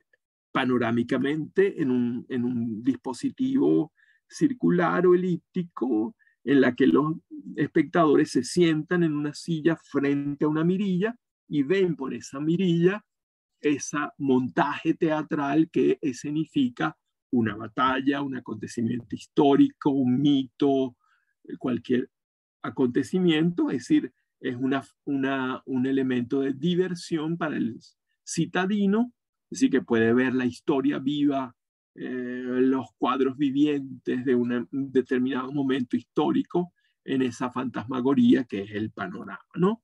O los dioramas también que se desarrollan eh, durante la segunda mitad del siglo XIX y que anticipan sin duda alguna lo que será el cinematógrafo. Eh, bueno, este pasaje, fíjense la vida que tiene, la actividad, es aquí. Esto cuando Aragón lo atraviesa está muerto, está deshabitado, está, bueno, en ruinas, tal cual las tiendas cerradas y las pocas tiendas que quedan, bueno, lo que tienen es mercancía polvorienta, eh, que ya nadie quiere, saldos de cosas petrificadas allí, ¿verdad? Bueno, este es el esplendor eh, y el, el, uno de los elementos que, que propone Benjamin cuando describe los pasajes, dice cristal que aparece demasiado pronto, hierro prematuro, eran de una misma estirpe los pasajes, los invernaderos con su soberbia palmera y los vestíbulos de las estaciones, donde se cultivaba la falsa orquídea llamada Adiós, con sus pétalos moviéndose en despedida. Hace tiempo que los ha liquidado el hangar. Es, él recuerda las construcciones de hierro y, cristal, como, el, como les recordaba el, eh, el Palacio de Cristal de Londres en la Exposición Universal del año 1855, que recuerda obviamente un invernadero, y además había dentro de esa exposición universal, eh, bueno, especímenes de eh, exóticos de África, de Asia, de América, y por supuesto la memoria de la palmera soberbia dentro de esos cristales, y también otra construcción moderna, los grandes vestíbulos de las estaciones de tren, que están hechas también de hierro y cristal, en donde esos pasajes se cultivan, no, digamos, en, en, los vestíbulos de las estaciones, si lo comparamos con un invernadero, se cultivaba la falsa orquídea llamada a Dios con sus pétalos moviéndose en despedida. Uno diría que esta imagen es casi eh, un poco excesivamente melosa, palagosa, eh, pero hay a veces en Benjamin esos elementos de imágenes eh, que bueno, que pueden resultar a nuestro gusto, por lo menos a mí, un poco sensibleros, pero eh, la falsa orquídea dentro de ese, de ese invernadero, la gente que se despide, la gente que se monta en el tren y se va. Hace tiempo que esas estructuras, la del Palacio de Cristal, la de los pasajes, la de los vestíbulos de las estaciones, ha sido desplazado por la gran construcción del hangar, donde se van a desarrollar, bueno, unos medios de comunicación y unos medios de transmisión de información que no tienen nada que ver con lo que quedaron en las exposiciones universales o en los pasajes y en las estaciones de tren. El hangar, el lugar del avión, etcétera, etcétera, ¿no? Es decir, cómo el pasado queda relegado por una nueva, una nuevo avance de la técnica pero esa, esos residuos están allí latentes, en estado de latencia, de alguna manera, ¿no? Y hoy ocurre con el material humano en el interior lo que ocurre con el material de construcción de los pasajes. Y esta otra comparación, a mí no me, me atrae mucho estas imágenes, pero bueno, dice, los prosenetas son las naturalezas férreas de esta calle. Ahora, eh, de este pasaje, los prosenetas son el hierro y las prostitutas, los cristales frágiles. Fue este último asilo de aquellas maravillas que vieron la luz en las exposiciones universales. El último asilo de las, ustedes saben que las exposiciones universales eran la puesta en escena de los grandes adelantos de la producción industrial y a partir del año 50 y 50, si no me equivoco, 52 de la primera exposición universal, ¿verdad? Ahí se serían las máquinas, los adelantos en la ciencia, en todas las disciplinas y también en el arte. Bueno, ese, e, ese tipo de, exhibición colectiva de los grandes adelantos del progreso va a quedar relegado ahora a lo que queda como memoria en los pasajes. Y junto a las degeneradas criaturas gigantes de mediada y estacada, la materia. Seguimos el corredor estrecho y oscuro hasta que entre una librería de saldo donde legajos atados y multicolores hablaban de todas las formas de la ruina.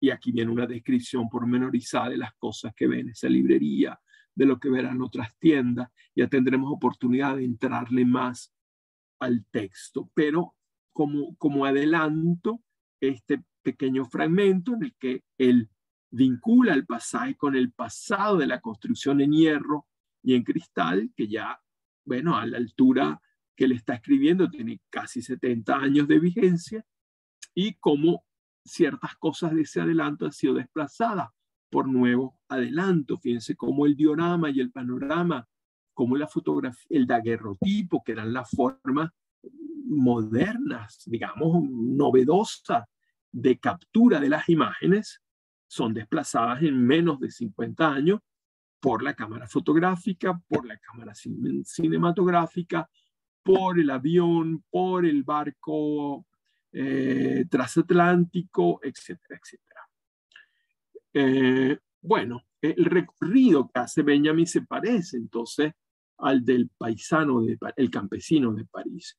Esta es una foto contemporánea del, del boulevard, eh, del pasaje de Panorama, rescatado, ¿verdad? Todavía activo, pero fíjense también bastante solitario si, se, si diríamos, está tomado en un momento de, pero comparemos este lleno de vida y este lleno también de trenes todavía, pero más solitario, más vacío, ¿no?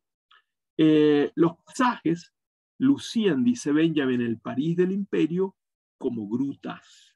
Fíjense, nunca empleé la palabra gruta, pero es muy hermosa. E, eso, esa, esas edificaciones con un techo de cristal, son como cuevas, grutas, pasadizos. Aquí entraba en 1817, a quien entraba en 1817 en el pasaje de los panoramas, le cantaban por un lado las sirenas de la luz del gas y enfrente le seducían las odaliscas como llamas de aceite. Es decir, todo el tiempo Benjamin aquí está usando metáforas o imágenes. Es decir, la luz de gas no es la luz de gas sino sirenas, sirenas que cantan al paseante y lo envuelven la luz de gas, una luz más narcótica, ¿verdad? Y enfrente le seducían las odaliscas como llamas de aceite. O sea, las odaliscas con una sensualidad distinta de la llama que produce el aceite. O sea, tenemos por un lado sirena y odalisca. Son como dos figuras mitológicas dentro de ese espacio de, de modernización a la altura del año 17. Con el resplandor de la luz eléctrica se extinguió en estas galerías la irreprochable llama. Se perdió el misterio. Ya no hay sirenas, ya no se ven sirenas en la luz de gas ni odalisca en la llamarada del aceite. Con el resplandor de la luz eléctrica se extinguió en estas galerías la irreprochable llama. De pronto se hicieron difíciles de encontrar, ¿verdad? Eh, esas sirenas o esas odaliscas. Practicaron una magia negra con las puertas, mirando su propio interior de ventanas ciegas. No fue ese el ocaso de los pasajes, sino un vuelco. De un golpe fueron el molde donde se fundió la imagen de la modernidad. El siglo reflejó aquí con arrogancia su novísimo pasado. Fue este el último asilo de aquellas maravillas. Dice que es la belleza de este fragmento y algo muy importante que nos va a servir de, clave para entender qué era lo que quería hacer Benjamin con, con, este, con este proyecto, ¿verdad? Fíjense, eh, él dice, estos pasajes que han sido eh, transformados, eh, que han perdido el misterio que tuvieron en alguna época, en su época remota, cuando se iluminaban a gas o con lámparas de aceite, la luz eléctrica, la iluminación de la luz eléctrica rompió el misterio de estas grutas, de estas cavernas, que parecen también como acuarios, ¿verdad? Y bueno, convirtieron a estas figuras fantasmagóricas, seductoras, sirenas y odaliscas eh, en una cosa que hay que ver detrás de una puerta, eh, detrás de una, una ventana ciega. Pero ese no fue el ocaso de los pasajes. Les pido disculpas, voy a ausentarme un minuto y ya vuelvo.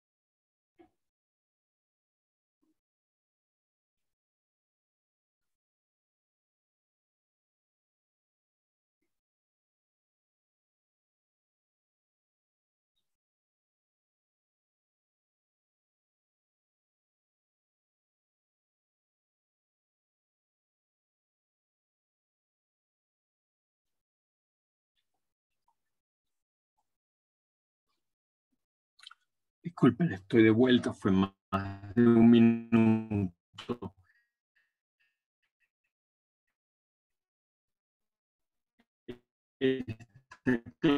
Clase eh, termina qué hora, ¿saben ustedes? ¿Me están oyendo? A la una. A la una. Perfecto.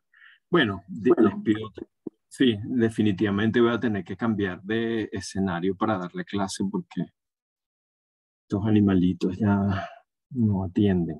Bueno, fíjense qué interesante esto que le está diciendo. Eh, se ha destruido una manera de entrar con lo moderno, con que tenía todavía un elemento mágico de seducción, de fascinación, de misterio y la iluminación eléctrica rompe con ese misterio, ¿no? Eh, sin embargo, no terminan aquí los pasajes, sino que les dan un vuelco, se convierten en otra cosa. De un golpe se convirtieron en el molde donde se fundió la imagen de la modernidad. Eso es lo que él quiere. Eso es la consideración fundamental. Estos pasajes que pasan de moda se convierten en moldes donde se funde la imagen de la modernidad, de la modernidad en su prehistoria o en sus inicios eh, eh, tecnológicamente avanzados, ¿verdad? Decisivos. El, el, siglo reflejó aquí con arrogancia su novísimo pasado. Es la, que parece un, un, un, oxímoron, esta contradicción, un pasado novísimo. Es decir, la renovación constante de la producción de la mercancía hace que el, pasado sea recientísimo todo el tiempo en el caso de la modernidad y del mercado, ¿verdad? La fantasmagoría de la que hablaba Marx de la mercancía, eh, que parecen cosas eh, inexplicables, eh, cómo se comporta la mercancía como especie de ídolos extraños ¿verdad? Eh, tiene que ver con ese mecanismo de la caducidad acelerada de la producción industrial o, comercial. Y en estos eh, lugares se va a quedar encapsulado, petrificado, ese pasado que es tan reciente. Bueno, eh, y vuelve a repetir esa imagen que en estos pasajes se asilan o quedan ¿sí? protegidas como en, una, en un invernadero, en un acuario, en un cofre de cristal, aquellas maravillas de la primera, eh, de la primera explosión del modernismo industrial, ¿no? con la máquina, con el, con el protagonismo creciente de la máquina como um, forma del progreso. Eh, ocho, antes, ocho años antes de la carta de 1935 dirigida a Adorno, que fue con la que comenzamos y donde él habla de que el cuento de hadas dialéctico lo ha borrado de, como subtítulo, ya no lo usa.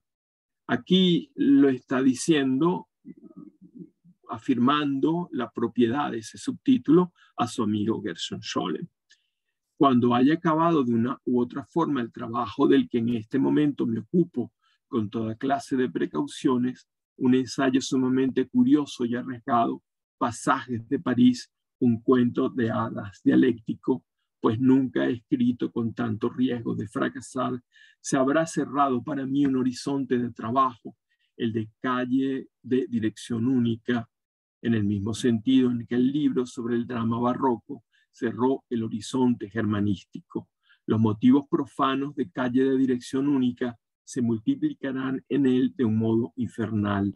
Nada más puedo decir aún de este asunto, ni tengo todavía una idea precisa de su extensión. Fíjense la manera de escribir de Benjamin, incluso en una carta a un amigo. Es una, un tipo de sentencia oracular, ¿verdad? Llena de imágenes más que de conceptos, o los conceptos vienen eh, transmitidos por imágenes. Ese tiene un carácter muy particular dentro del, del discurso canónico convencional de la filosofía. ¿verdad? Eso hace también la rareza del estilo benjaminiano, la belleza al mismo tiempo del estilo filosófico de Benjamin.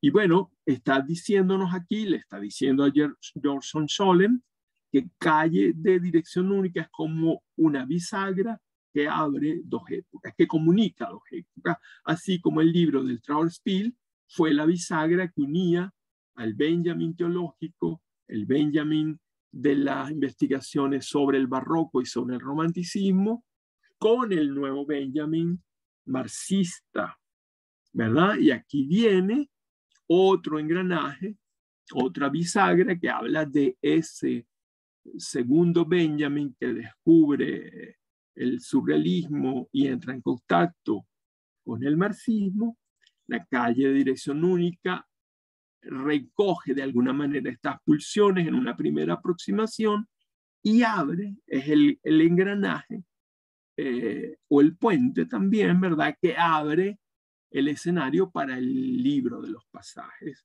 Es aquí otra bisagra, otro elemento de conexión.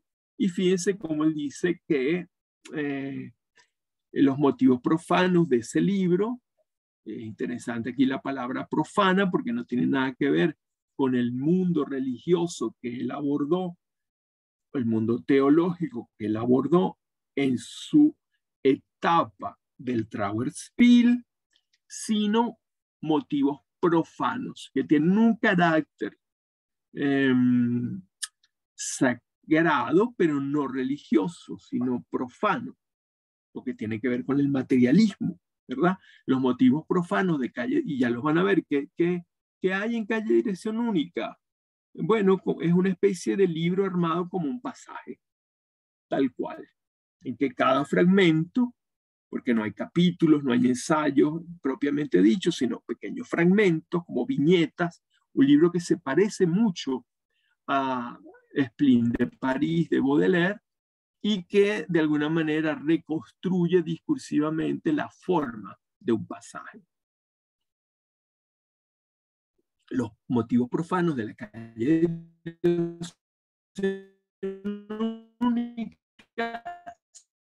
se multiplicarán en ese otra cosa que se abre a partir de él de un modo infernal. Es decir, lo que está en potencia con sus subtítulos son muy importantes. Em, esa cosa que está ahí como una bomba de relojería va a explotar de manera infernal en el libro de los pasajes si lo llega a escribir. Y cuando él escribe esto en el año 28 está comenzando el proyecto no sabe lo que viene y bueno, ese libro no lo pudo terminar y lo que nos dejó es las cajas con todo el material para construir el libro. El libro está allí en potencia, sigue.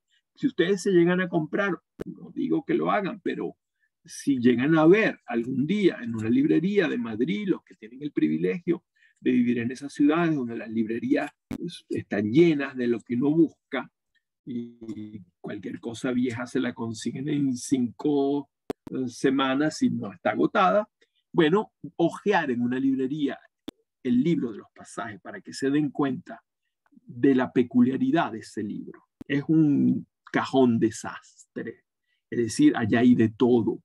Claro, está ordenado. Benjamin ordenó, fichó, categorizó, puso en sus cajitas bien denominadas lo que correspondía a un fenómeno de la modernidad, la teoría del progreso, eh, eh, la construcción en hierro en cristal, el desarrollo de los trenes, eh, todos los elementos más minuciosos, incluso los más banales o aparentemente triviales, él los observó, los categorizó, los incluyó en ese vastísimo mapa que es el libro de los pasajes como historia de los orígenes de la modernidad eh, occidental.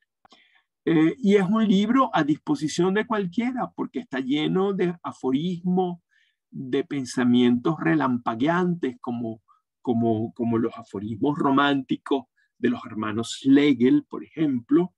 Eh, y bueno, a partir de ahí uno puede agarrar y hacer, bueno, desarrollar un libro cada uno de nosotros a partir de una de esas de esos chispazos de ocurrencia eh, de los cuales está lleno el libro de los pasajes. Eh, ya Calle Dirección Única operaba así. Y ahí la palabra, la palabra eh, clave es rapsódico.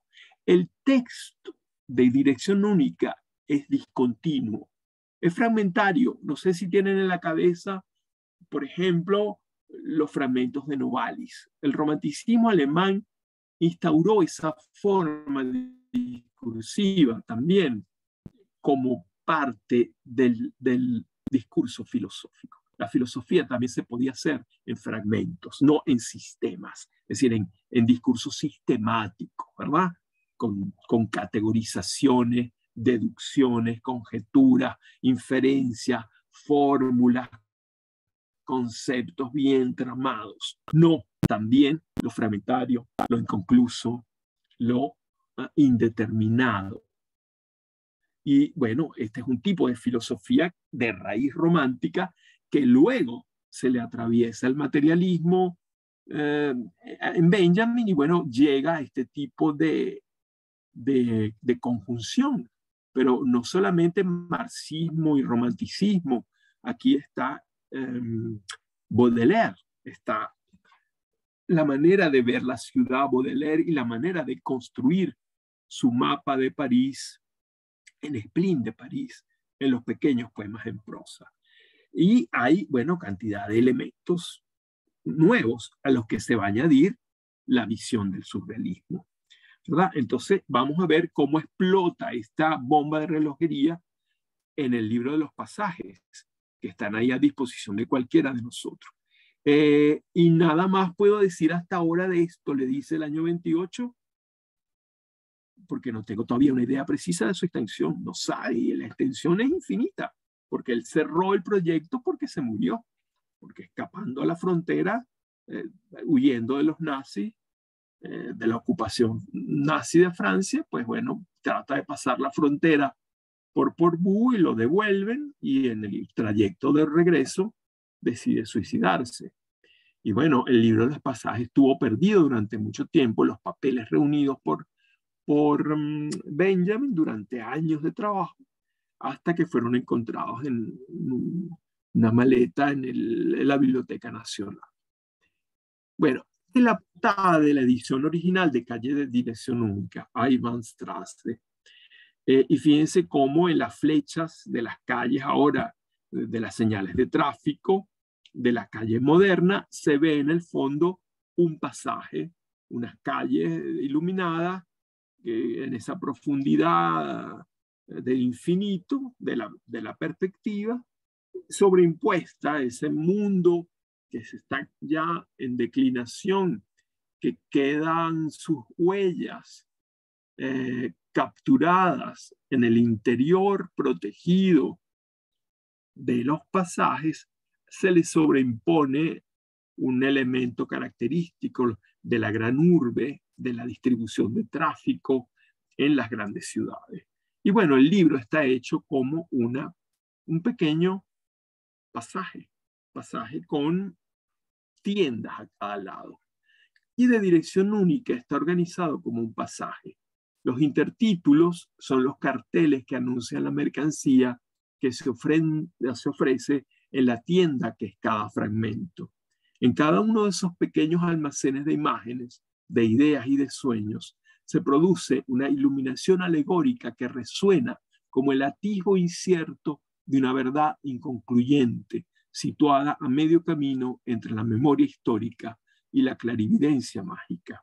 Bueno, aquí a mí se me fue la mano, me puse benjaminiano, eh, pero creo que esta descripción del libro da idea del mundo, de la, de la ¿cómo lo diríamos? De la hibridación, es una palabra muy fea, de la mezcolanza, del melange, que tiene lugar en el pensamiento benjaminiano, entre un trasfondo teológico de procedencia judaica, un trasfondo romántico, un trasfondo materialista y un trasfondo barroco del uso de la alegoría ¿verdad? O de la anamorfosis, eh, de todas esas formas de encubrimiento del significado de una cosa o de un objeto, ¿verdad? Para llevar a un pensamiento que se basa en la incertidumbre, en lo incierto, y en lo que no concluye, en lo que queda interrumpido, en lo que queda en estado de latencia. Entonces está ese pensamiento, esa iluminación alegórica de la historia eh, moderna, bueno, está entre el énfasis de una memoria histórica de carácter objetivo y, bueno, la clarifidencia del vidente, de la magia, de la, de la alucinación o del sueño, es decir, los valores que él arrastra del surrealismo. Dirección única, dice Teodoro Adorno en un ensayo del año 55, no es como pudiera pensarse en un fugaz vistazo un libro de aforismos, sino una colección de imágenes mentales, Denkbilder. Son más bien jeroglíficos garabateados que evocaciones alegóricas de lo que no se puede decir con palabras. No pretenden tanto ofrecer apoyo al pensamiento conceptual como llamar la atención por su forma enigmática y poner en movimiento el pensamiento que en su expresión tradicional y conceptual parece rígido, convencional y envejecido. Lo que no se puede probar al estilo habitual y sin embargo subyuga, subyuga, debe espolear la espontaneidad y energía del pensamiento y sin ser tomado al pie de la letra, hacer, hacer saltar por medio de una especie de cortocircuito intelectual chispas que iluminen súbitamente lo familiar si es que no lo incendian. Bueno, este es el estilo también de, de Adorno, de estilo cerrado, trabado. Eh, es el estilo, yo diría que de la escuela de Frankfurt. Benjamin, Adorno y Horkheimer escriben así. ¿Sabes? En fragmentos de mínima moralia de Adorno que no sabemos, yo no he logrado saber qué es lo que dice, ¿verdad? Bueno, porque nos falta, nos falta, qué sé yo, entrenamiento filosófico, histórico, económico, lo que sea, eh, pero a veces no los entendemos. Aquí este fragmento se entiende bastante y bueno, él dice que eso, esos fragmentos, porque son fragmentos, textos muy cortos, que son como chispazos, le acabo de decir, él dice, no son evocaciones alegóricas como yo las he llamado, sino jeroglíficos garabateados en, bueno, algo incluso más enigmático, un jeroglífico. ¿verdad? No pretenden tanto ofrecer apoyo al pensamiento conceptual, no son ilustración de un pensamiento conceptual, sino una forma de articular las ideas de modo enigmático. Es decir, que la oscuridad del planteamiento dinamiza una, el pensamiento. Mientras el pensamiento eh, tradicional, digamos, filosófico, científico, parece rígido, convencional y envejecido, la dinámica que le ofrece el punto de vista heterogéneo o heterodoxo de Benjamin lo convierte en un pensamiento que cataliza reacciones eh, inesperadas, inéditas, que no se pueden controlar previamente. Eso tiene mucho que ver con la práctica romántica del fragmento romántico que tiene una, una categoría que, que, lo describe muy bien, que es lo que los románticos de Jena llamaron Witz, es decir, lo que podríamos decir en español, ocurrencia, es, es un esprit en los lo franceses, como ese momento de gracia, como una epifanía.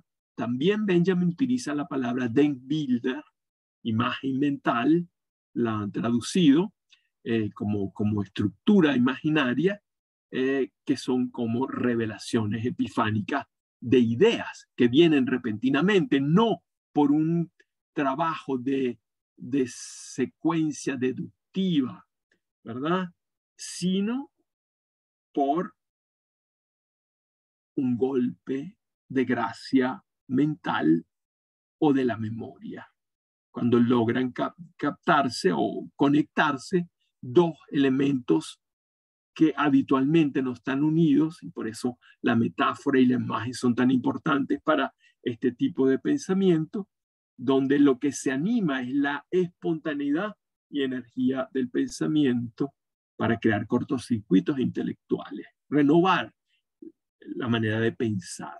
Y esto es un, un trabajo deliberado que, que Benjamin intenta. Una de las cosas que él nos lega también no es solamente los contenidos de, de sus investigaciones, su, su, su, teoría sobre, sobre la mercancía, sobre el arte y la pérdida del aura, tantas otras cosas que nos ha dejado, sino el estilo de pensamiento, la manera de pensar, la manera de expresar el pensamiento, la manera de producir ideas, que no es mediante la deducción o la, o la inferencia ah, sistemática, ¿verdad? Que se resuelve en respuesta, sino en planteamientos enigmáticos que dejan abierta la posibilidad de muchas interpretaciones simultáneas de un mismo acontecimiento, de un mismo problema. Y esa es la dificultad también de entender a Benjamin, porque es oracular en cierta medida. Eh, eh, Adorno dice jeroglíficos. Hay que ser un egiptólogo para entender los jeroglíficos. Para entender a Benjamin, en muchos momentos también hay que ser un especialista en jeroglíficos o en alegorías o en emblemas o en enigmas, ¿verdad? Eh, ya, ya vamos a terminar, creo, porque, bueno, no sé si quieren que terminemos. Déjame ver si queda mucho. No queda, queda poco. Podemos terminar todo, ya que les hice perder algunos minutos. Eh, bueno, en ese tiempo volvemos a la carta con la que iniciamos el recorrido, porque nos quedó un punto que queremos abordar, que es importante. En ese tiempo surgió el subtítulo, hoy ya abandonado, un cuento de hadas dialéctico.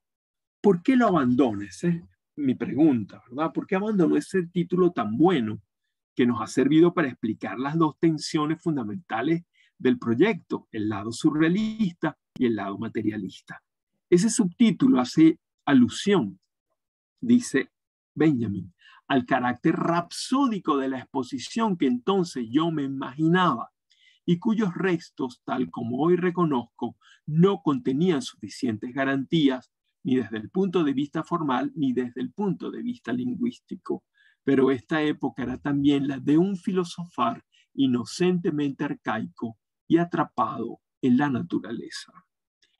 Es decir, que aquí eh, confiesa Benjamin que cuando él imagina por primera vez escribir una prehistoria de la modernidad, teniendo como base la ciudad de París en el siglo XIX y tomando como foco de investigación el pasaje parisino, está envuelto todavía en las resonancias de su pasado intelectual, que venía de la investigación sobre el barroco, sobre la política teológica del barroco alemán, sobre el romanticismo del que hizo un estudio, su tesis de doctorado, sobre la crítica en el romanticismo de Jena.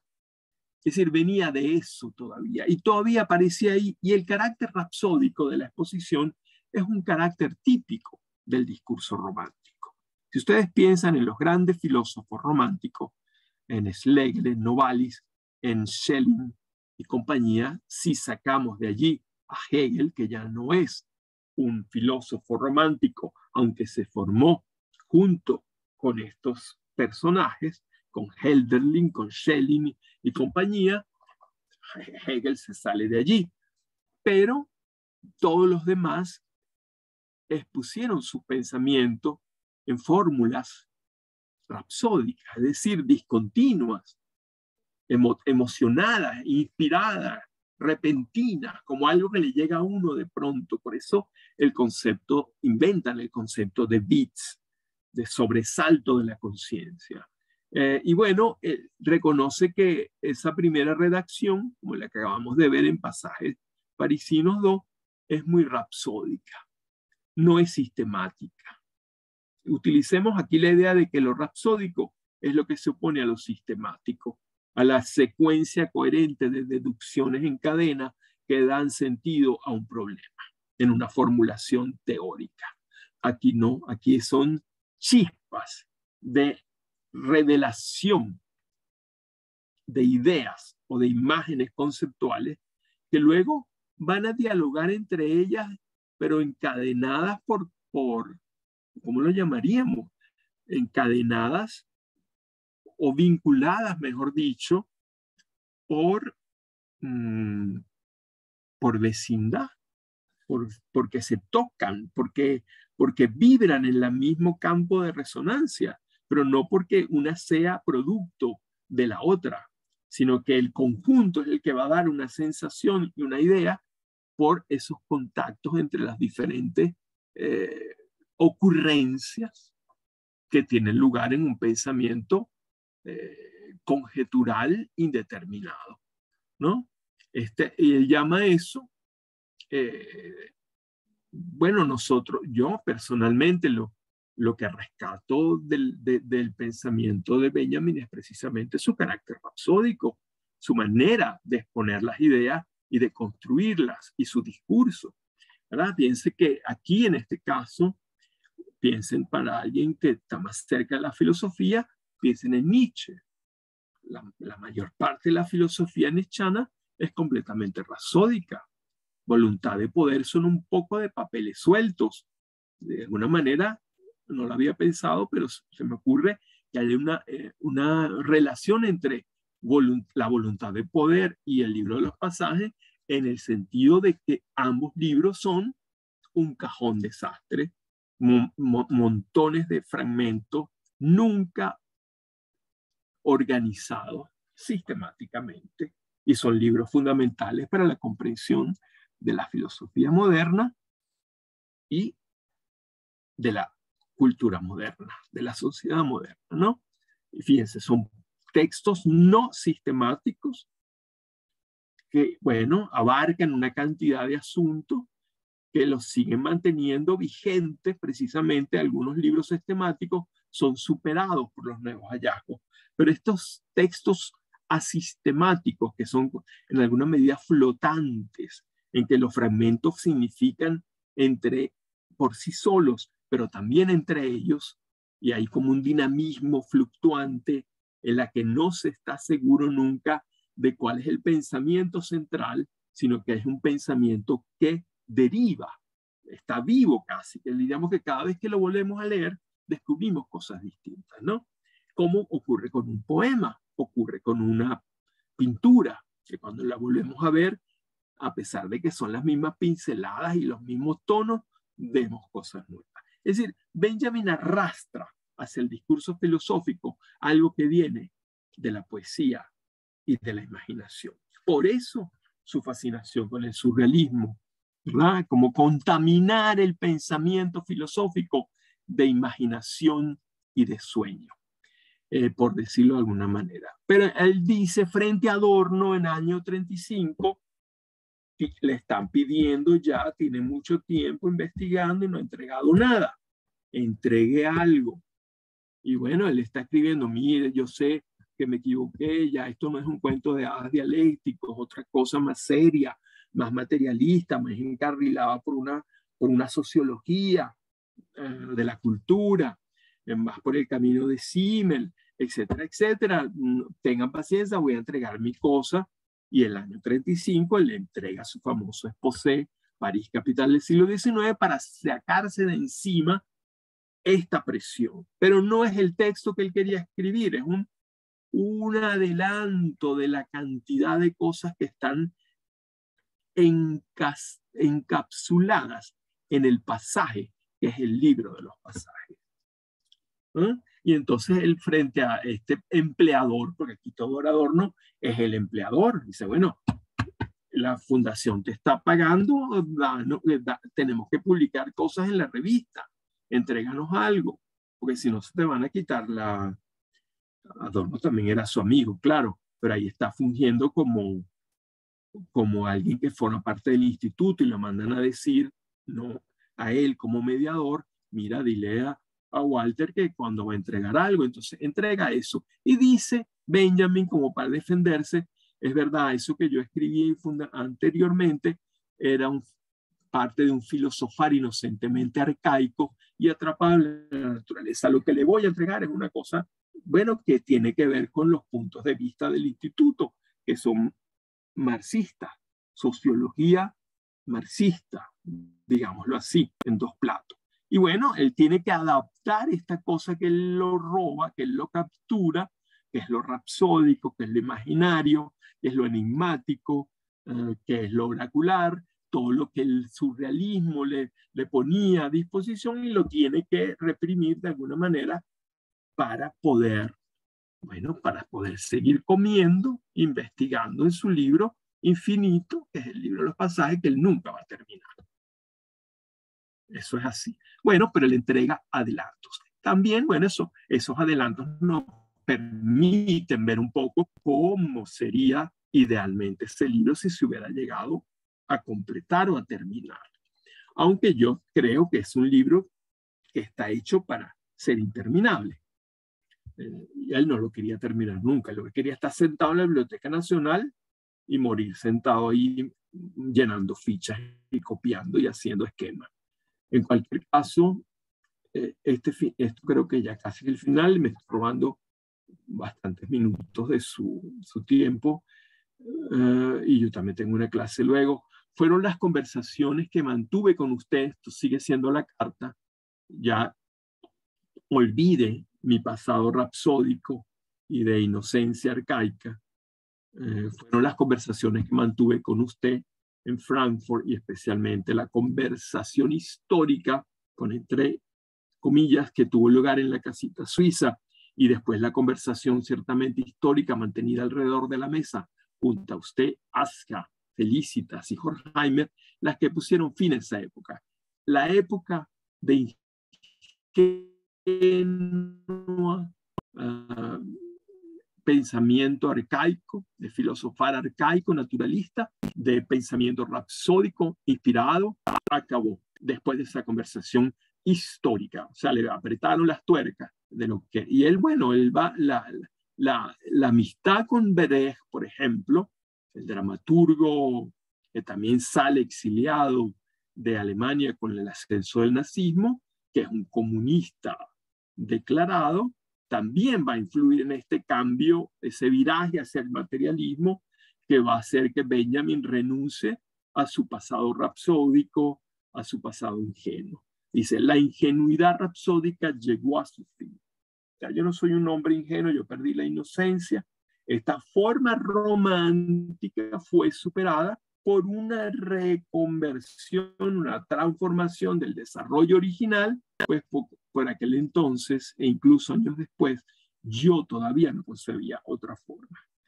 Si yo le encuentro decisivo con Brecht y con él el punto culminante de todas las aporías con que se enfrentó este trabajo del que no obstante ni siquiera en ese momento me alejé.